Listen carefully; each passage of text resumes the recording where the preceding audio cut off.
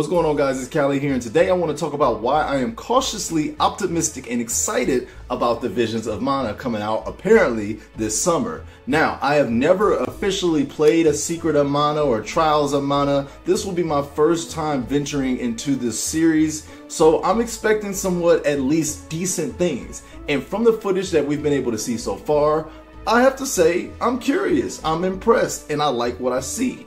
So I'm going to talk about some reasons why I'm particularly excited about this game. And I'm still clearing out a lot of JRPGs I've played over the this year, but this one has been catching my eye. Now, right off the rip, I'll say one of the reasons that I'm attracted to this game so far is the aesthetics. I love the vibrant colors, I love the lighthearted nature, and it looks like a world that I can be invested and get lost into.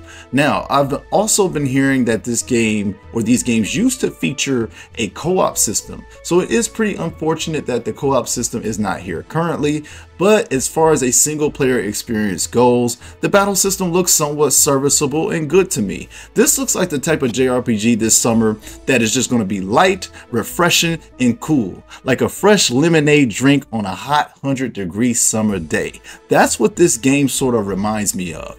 I don't think this game is going to be particularly anything groundbreaking or crazy. I think it's going to score relatively safe. Maybe I'm going to go 78 to 80 on Metacritic, maybe 80 to 82 on OpenCritic. Actually, those are pretty good scores, but I think it's just a nice, cool, refreshing looking game. Now, as far as the cautious part and where I'm a little bit nervous about, I do wonder if this will also be a drawback for this game. Now, this is also one of the areas that I'm concerned about this game.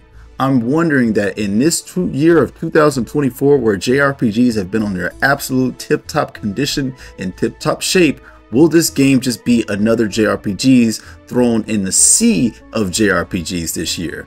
Will this game have enough to stand out in this massive 2024 JRPG splurge and renaissance that we have been in. So far, what I'm seeing, the game does look like it has some creativity. It it, it is re resurrecting a series that I believe a lot of people are passionate about. I saw a lot of Secret of Mana fans, you know, very happy about this game. I couldn't exactly understand their hype because I've never really played these games in the past, but seeing their reaction when this game got released, it was like everybody was just so happy that this series was back with an actual full entry. So that is one of the things that's driving my curiosity and my somewhat excitement for this game, but also my caution for this game.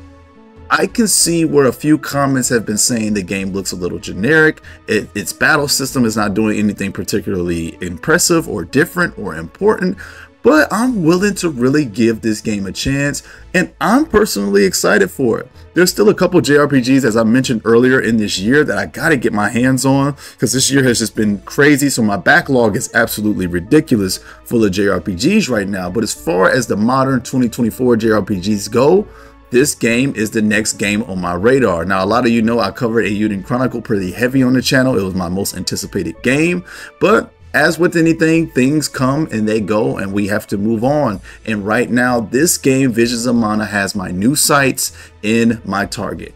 I am excited about this game, and I'm willing to give this franchise a chance. But those are some of my concerns. It does look a little bit safe. I hope it's not too childish, and I'm wondering if the story on these games are worth anything.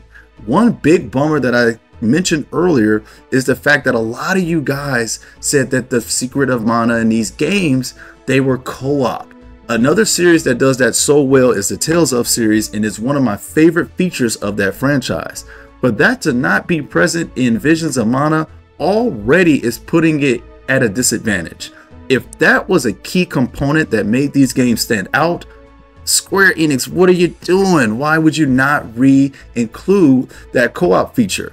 And with this battle system, I can see how a co-op feature would greatly benefit this game and have it stand out from the countless other of options that are present in current JRPGs. So for me, guys, I'm cautiously optimistic about this game. Y'all let me know what you are thinking in the comment section down below. Are you hyped for Visions of Mana? Has it been showing you what you want to see out of this game right now? And for any newcomers, are you not even going to waste your time with this game?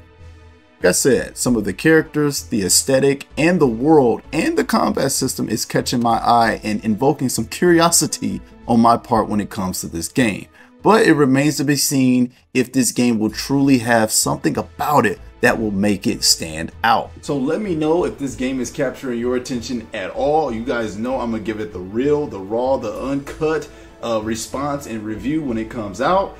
If it's not good, I'll definitely say it's not good, but if it's great, I would love to get my hands on it and check it out for you guys. Thank you for supporting the channel. Shout out to my Patreon and my channel members and all my subscribers of the channel. Thank you guys for always showing me support, man. It means so much to us on the channel. We love y'all. All right, y'all. We'll see you on the next video. Peace.